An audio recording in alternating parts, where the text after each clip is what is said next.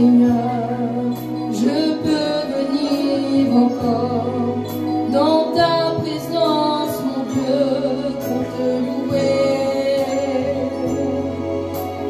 Et moi, je